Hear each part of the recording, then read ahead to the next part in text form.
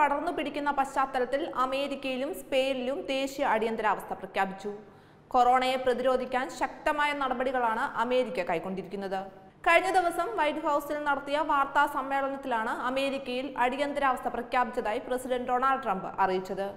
ലോകത്തുടനീളം പടർന്നു പിടിക്കുകയും മരണം വിതയ്ക്കുകയും ചെയ്യുന്ന പശ്ചാത്തലത്തിൽ കൊറോണ വൈറസിന്റെ പുതിയ പ്രഭവ കേന്ദ്രമായി യൂറോപ്പ് മാറുകയാണ്.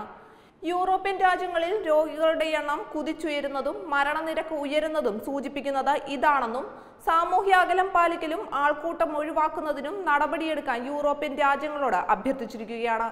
രോഗം രൂക്ഷമായി പിടിക്കുന്ന സാഹചര്യത്തിലാണ് ഇത്തരത്തിൽ അമേരിക്കയിൽ അടിയന്തരാവസ്ഥ പ്രഖ്യാപിച്ചിരിക്കുന്നത്.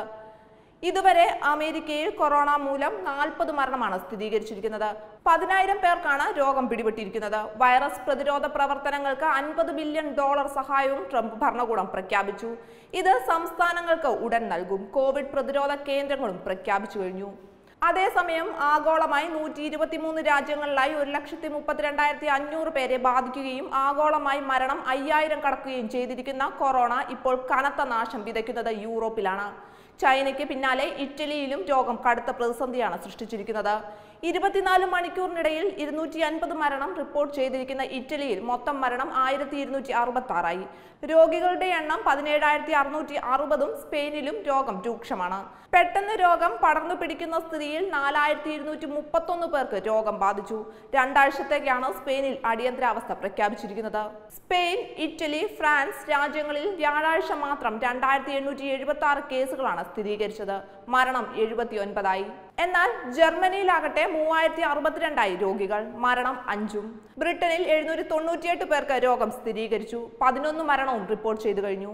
കൊറോണയെ തുടർന്ന് മിക്ക യൂറോപ്യൻ രാജ്യങ്ങളും താമസിക്കുന്നവർ ഒഴികെയുള്ള വിദേശികളെ അകറ്റാൻ അതിർത്തി അടച്ചിരിക്കുകയാണ് ബെൽജിയം ഫ്രാൻസ് സ്വിറ്റ്സർലാൻഡ് ജർമ്മനി എന്നിവിടങ്ങളിലെല്ലാം സ്കൂളുകളും അടച്ചു.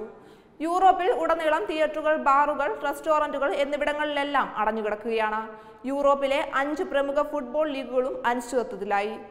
അമേരിക്കയിൽ ബാസ്കറ്റ്ബോളും ടെന്നീസും അടക്കം ജനപ്രിയ കായിക മത്സരങ്ങളെല്ലാം നിർത്തിവെച്ചിരിക്കുകയാണ്.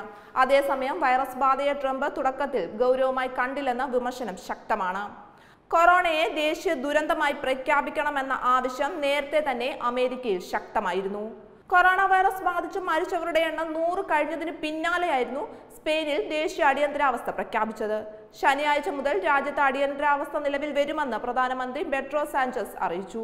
വൈറസ് ബാധ മൂലം നൂറ്റി ഇരുപത് പേരാണ് സ്പെയിനിൽ വെള്ളിയാഴ്ച വരെ മരിച്ചത്. കൂടുതൽ പരിശോധനാ ഫലം വരുന്നതോടെ അടുത്ത ആഴ്ചയാകുമ്പോഴേക്കും വൈറസ് ബാധിതരുടെ എണ്ണം പതിനായിരം കടന്നേക്കുമെന്നാണ് പ്രധാനമന്ത്രി പറയുന്നത്.